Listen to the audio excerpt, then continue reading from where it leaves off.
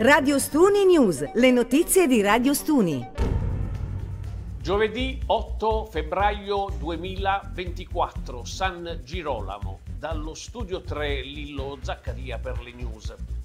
Un nuovo triste episodio di truffa ad un'anziana si è verificato nel pomeriggio di ieri in corso Vittorio Emanuele nella nostra città. La donna un 85enne di Ostuni, è stata raggirata e derubata di alcuni gioielli in oro. L'intera vicenda è ancora da chiarire e i carabinieri giunti sul posto sono al lavoro per ricostruire la dinamica e il modo in cui il malvivente o i malviventi hanno messo a segno il colpo ai danni dell'anziana donna. L'85enne, negli attimi di agitazione, è caduta a terra in casa riportando lievi ferite. Le sue condizioni non sono gravi.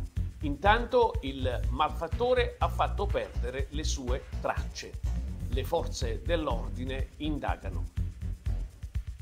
Il corpo senza vita di Carlo Formigoni, il noto regista novantenne di origine lombarda da tempo residente ad Ostuni, è stato trovato all'alba di ieri sugli scogli della spiaggia di Savelletri. Si erano perse le sue tracce nei pressi di Savelletri di Fasano. Le intense ricerche via mare e via terra, coordinate dal nucleo sommozzatori dei Vigili del Fuoco, della Capitaneria di Porto e dei Carabinieri, non hanno portato e non hanno purtroppo avuto epilogo positivo. Si ipotizza un gesto volontario dell'illustre maestro.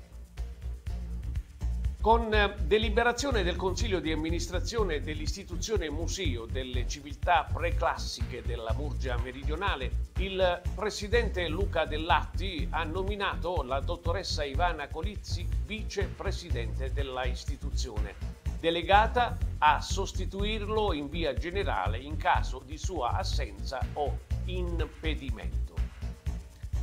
Il buon gusto delle malerbe è il titolo del corso per il riconoscimento delle erbe spontanee commestibili che si tiene presso la sede del GAL Alto Salento ad Ostuni, in contrada Licuti. L'evento è organizzato dalla Federazione Italiana Cuochi e Brindisi Provincia ed è a cura del professor Felice Suma. Modera il professore Angelo Zurlo.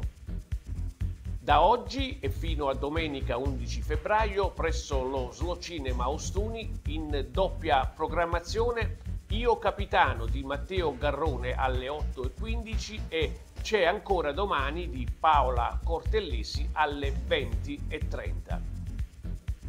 Da oggi e fino al 10 febbraio presso la confraternita del Carmine si celebrano le solenni 40 ore alle 16 adorazione eucaristica, alle 19 la Santa Messa.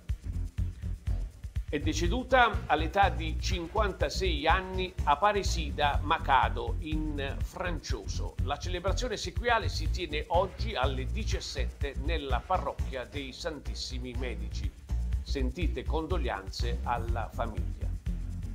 La farmacia Dalò effettua quest'oggi il turno pomeridiano e notturno. Meteo, cieli poco nuvolosi per l'intera giornata, venti deboli, temperature stabili, mare poco mosso. Citazione odierna, dove le parole non arrivano, la musica parla. Grazie per aver preferito la nostra informazione.